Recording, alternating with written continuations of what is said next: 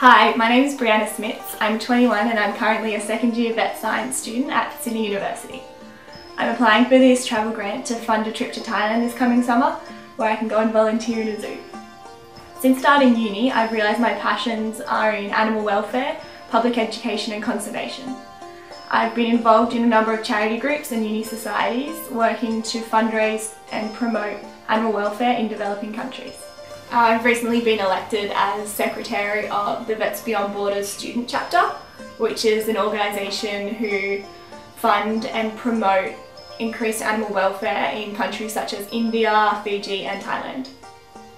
Recently I spent five months volunteering as an English teacher in Vietnam and saw firsthand that the standards of animal welfare over there aren't really quite where they should be and I'm really keen to use this opportunity to put my skills I've learned at university to use and actually try to make a difference. I've organised to spend some time at a zoo in Western Thailand who are looking for volunteers to help increase their standards of animal welfare and promote ethical tourism.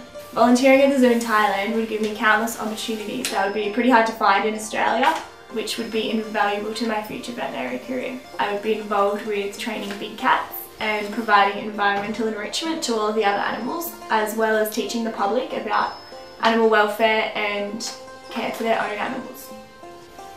I'm really keen to explore other parts of Southeast Asia on this trip and fully immerse myself in the fascinating culture. I think I'd be a really worthy recipient of this grant and the opportunities I'd be given would be priceless. So please help send Bree to Thailand.